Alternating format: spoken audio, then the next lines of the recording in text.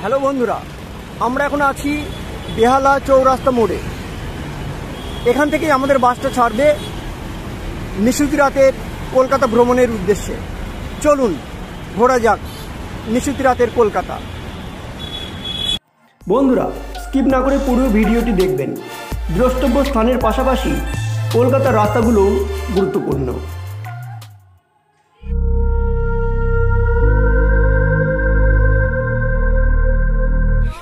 Kolkata city of joy city of palace তিলোত্তমা প্রাণের শহর কলকাতাতে তিনভাবে আসা যায়, ট্রেন পথে, সড়ক পথে ও বিমান পথে। নেতাজি সুভাষচন্দ্র বোস আন্তর্জাতিক বিমানবন্দরের মাধ্যমে কলকাতা দেশ ও বিদেশের সঙ্গে যুক্ত। হাওড়া ও শিয়ালদা স্টেশনের মাধ্যমে কলকাতা সারা দেশের সঙ্গে যুক্ত। সড়ক পথেও সারা দেশ থেকে আসা যায় কলকাতায়।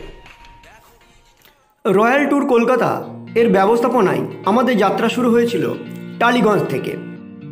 মহানায়ক উত্তম কুমার মেট্রো স্টেশন থেকে। বাংলার কিংবদন্তি নায়ক, মহানায়ক উত্তম কুমারের নামে এই মেট্রো স্টেশনটি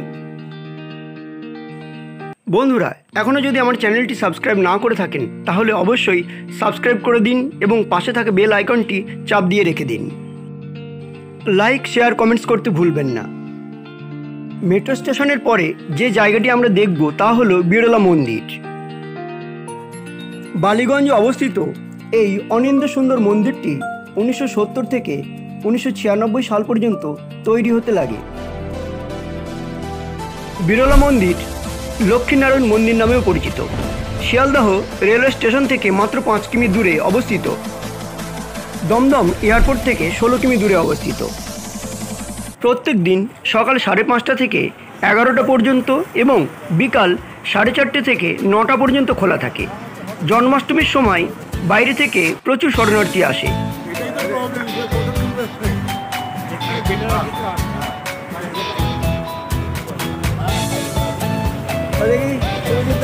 বলুন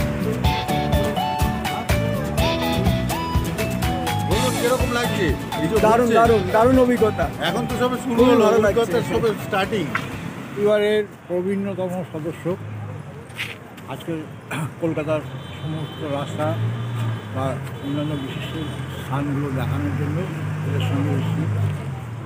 যদিও আমার সব দেখা তবুও সঙ্গে থাকি ভালো লাগে। পরিবারের সবাইকে নিয়ে একসঙ্গে থাকতে চাই।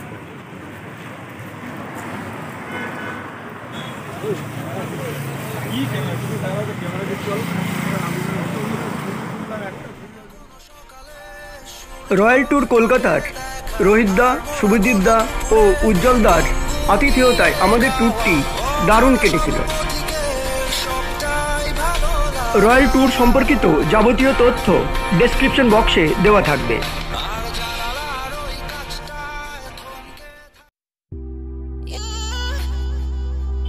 কালীঘাট মন্দিরের গেট এটি। আমাদের পরের গন্তব্য কালীঘাট মন্দির ও মিশনারিজ অফ চ্যারিটি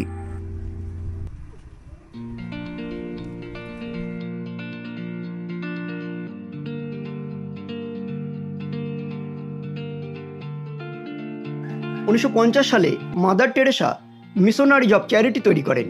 এর মূল উদ্দেশ্য ছিল আর্থের সেবা করা। বর্তমানে এর সদস্যা পাঁচ হাজার একশো সাতষট্টি জন। এখন রাত সাড়ে বারোটা। আমরা সারা রাত ধরে কলকাতা ঘুরব। আমরা দিনের কলকাতা দেখতেই অভ্যস্ত। রাতের কলকাতা দেখার সুযোগ খুব একটা হয়ে ওঠে না। এই সুযোগটা তৈরি করে দিয়েছে রয়্যাল ট্যুর কলকাতা। এ এক রোমাঞ্চকর অভিজ্ঞতা। আপনারা দেখছেন কালীঘাট মন্দির, কলকাতার একটি প্রসিদ্ধ কালী মন্দির এবং একান্ন শক্তিপীঠের অন্যতম। হিন্দু তীর্থক্ষেত্র। এই মন্দিরের আরাধ্যা দক্ষিণা কালী পৌরাণিক কিংবদন্তি অনুসারে সতীর দেহত্যাগের পর তার ডান পায়ের চারটি আঙুল এই তীর্থে পতিত হয়েছিল। এ স্থান বারাণসী তুল্য। কলকাতা ঘুমায় না। এ শহর জেগে থাকে সারা রাত ধরে তার ভরা যৌবন নিয়ে। আলোকসজ্জায় সজ্জিত রাতের কলকাতার মোহময়ী রূপ সকলকে মুগ্ধ করবে।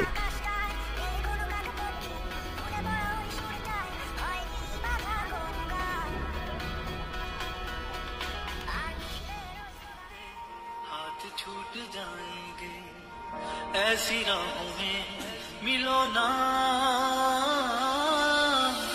बात बात करते करते रात कट जाएगी। ऐसी रातों में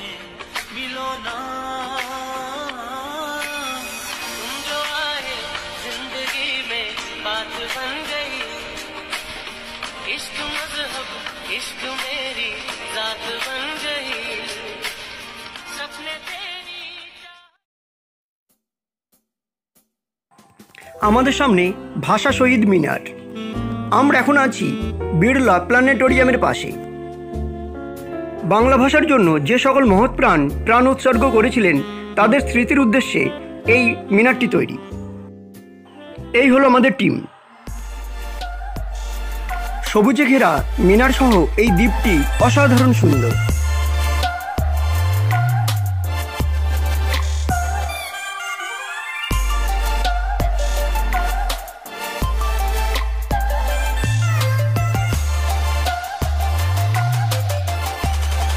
দ্য ফর্টি টু উনিশশো উনিশ সালে উদ্বোধন হওয়া এই আবাসনটি ছিল তৎকালীন সময়ে ভারতের সর্বোচ্চ আবাসন বা সর্বোচ্চ বিল্ডিং।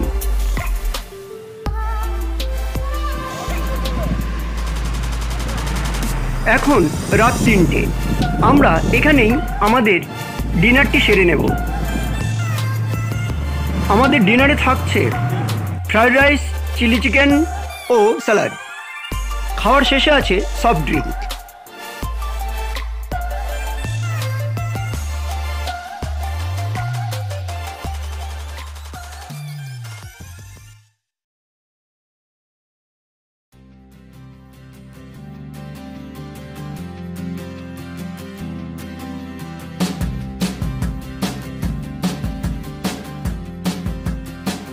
আমাদের পরের গন্তব্য নেতাজি ভবন। নেতাজি সুভাষচন্দ্র বসুর বাসভবন।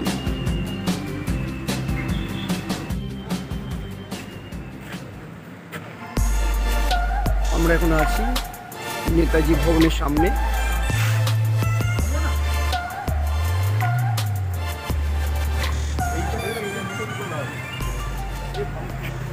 নিশুত রাতের কলকাতা ভ্রমণের একটি নেগেটিভ দিক হলো, আপনি কোথাও ভেতরে প্রবেশ করতে পারবেন না।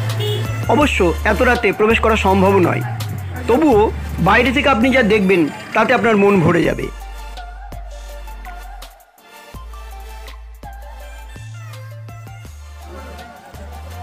আমাদের এখন টি ব্রেক চলছে? আমরা সকলেই দাঁড়িয়ে আছি আর চা খাচ্ছি।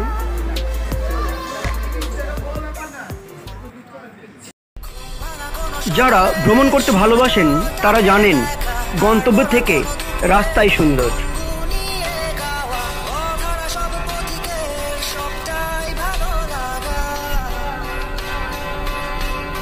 আমাদের পরের গন্তব্য প্রিন্সেপ ঘাট।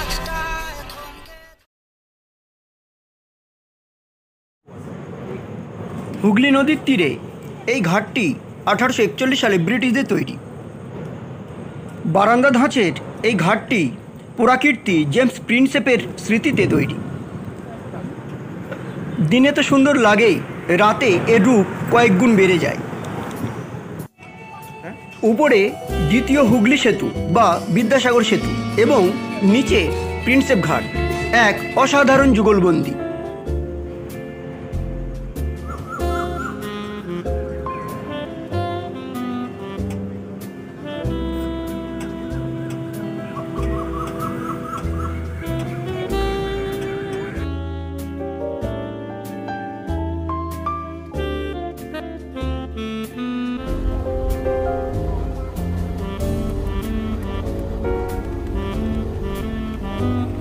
আমাদের পরের গন্তব্য বাবুঘাট ফুট ওভার ব্রিজ।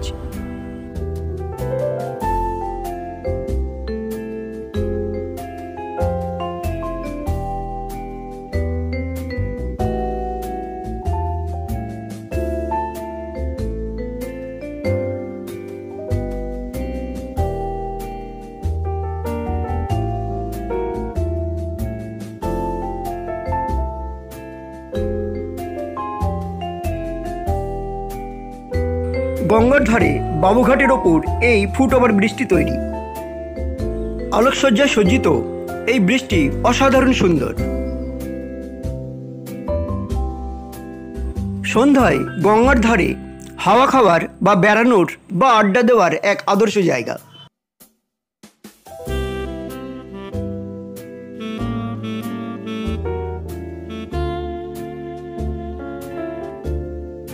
পৃথিবীতে যে কয়টি যমজ শহর আছে, তার মধ্যে অন্যতম হল হাওড়া ও কলকাতা। গঙ্গার ওধারে হাওড়া আর এধারে কলকাতা। তিলোত্তমা, গঙ্গার ওপর দিয়ে বয়ে চলা ঠান্ডা মৃদুবন্ধ বাতাস আপনার মনটাকে উৎফুল্ল করে দেবে। দূরে দেখা যাচ্ছে বিদ্যাসাগর সেতু। এর ঠিক অপর দিকে আছে হাওড়া ব্রিজ। আমরা আছি ঠিক মাঝামাঝি জায়গায়।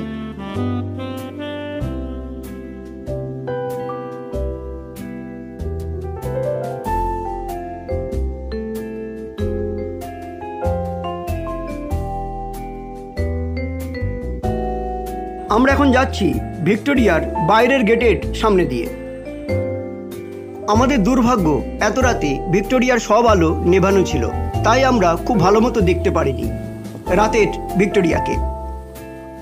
যারা নিশুতি রাতের কলকাতা ভ্রমণ করতে চান, তাদের প্রতি পরামর্শ থাকবে, অবশ্যই সন্ধ্যাবেলায় ভিক্টোরিয়াকে দেখে নেবেন রাতের ভিক্টোরিয়াকে।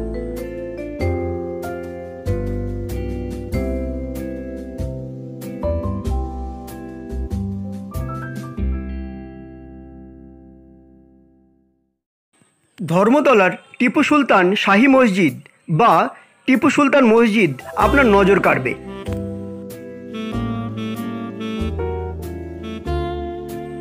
ব্যস্ত ধর্মতলা। বৃষ্টি হওয়াতে ব্যস্ততা একটু কমই।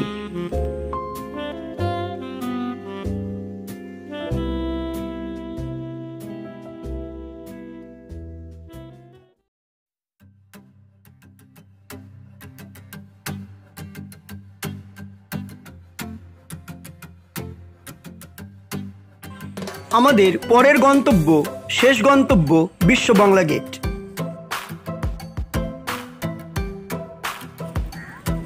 কলকাতার নিউ টাউনে বিশ্ব বাংলা সরণিতে নারকেল বাগান মোড়েই এই তরুণটি বা গেটটি অবস্থিত। এই গেটের সঙ্গে রয়েছে ঝুলন্ত রেস্তোরাঁ। গেটের চারটি স্তম্ভে ঝুলে রয়েছে একটি বলয়। কাঁচ ঘেরা এই বলয়ে আছে রেস্তোরাঁ ও ভিজিটর্স গ্যালারি। রেস্তোরাঁয় ঘুরে দেখার জন্য টিকিট লাগে একশো টাকার। খাবারের চার্জ আলাদা। অবশ্যই ভালো মানের খাবার পাওয়া যায়। লাঞ্চ এখানে পাওয়া যায় বারোটা থেকে তিনটে এবং ডিনার সন্ধ্যা সাতটা থেকে রাত দশটা পর্যন্ত। খাবার জন্য আগে বুক করে আসলে ভালো হয়। বিশ্ববাংলা গেটের পাশেই আছে একটি টানেল, যা বঙ্গ সংস্কৃতির পরিচয় বহন করে। ভীষণ সুন্দর এই টানেলটি আসলে একটি সাবওয়ে এক রাস্তা থেকে আরেক দিকের রাস্তায় যাওয়ার।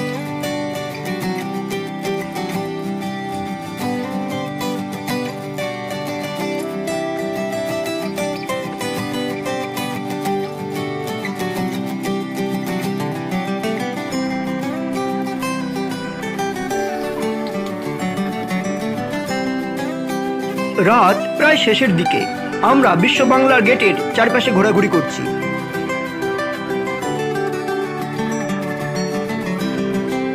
আমাদের বাঁ দিকে আছে রবীন্দ্র তীর্থ।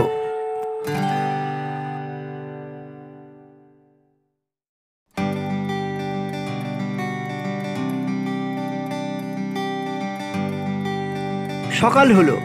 আমাদের সামনে বিশ্ব বাংলা গেট, সকালের বিশ্ব বাংলা গেট।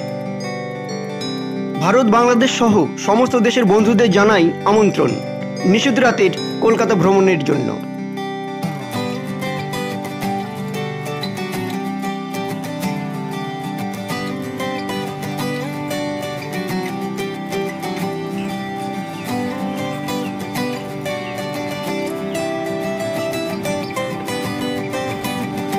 এখন ফেরার পালা।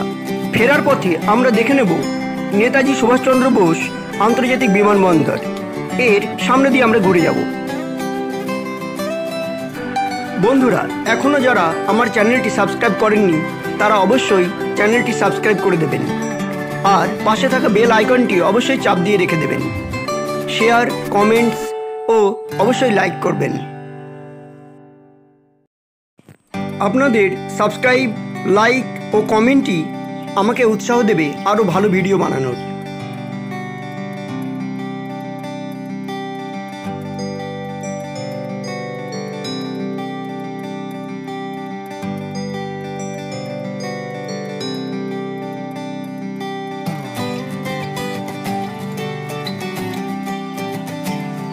ধর্মতলার টিপু সুলতান মসজিদ, যা গত রাতে দেখেছিলাম। আমরা ফিরছি হলুদ ট্যাক্সি করে, যা কলকাতার ঐতিহ্য। আমরা যাব হাওড়া স্টেশন, হাওড়া ব্রিজের ওপর দিয়ে।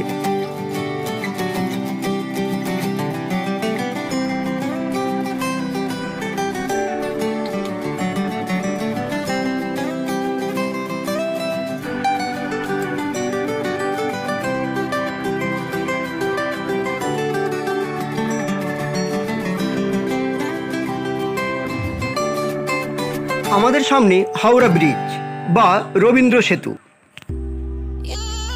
কলকাতার পরিচয়ের অন্যতম নিদর্শন। মেক ইন ইন্ডিয়ার প্রথম নিদর্শনও বলা যায়। কারণ এই ব্রিজটি তৈরি করতে সাতাশ হাজার টন আয়রন দিয়েছিল Tata and iron steel company. উনিশশো তেতাল্লিশ সালে তৈরি হওয়া এই ব্রিজটি হাওড়া ব্রিজ নামে পরিচিত ছিল। উনিশশো পঁয়ষট্টি সালে এটি রবীন্দ্র সেতু নামে পরিচিত হয়। বিশ্বের ব্যস্ততম রিভার ব্রিজ হল হাওড়া ব্রিজ।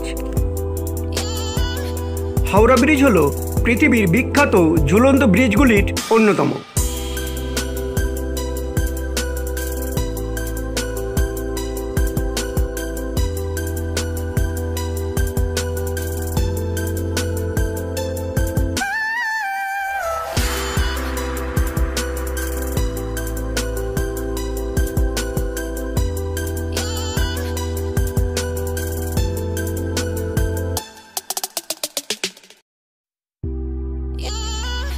সামনে হাওড়া স্টেশন। আমাদের যাত্রা এখানেই শেষ। সকলকে ধন্যবাদ ভিডিওটি পুরোটা দেখার জন্য। সকলে ভালো থাকবেন, সুস্থ থাকবেন। আবার দেখা হবে পরের ভিডিওতে। Tata, bye bye.